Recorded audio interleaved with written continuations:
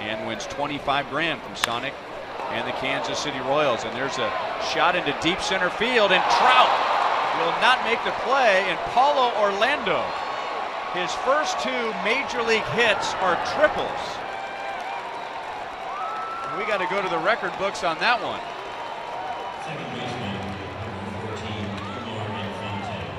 Another track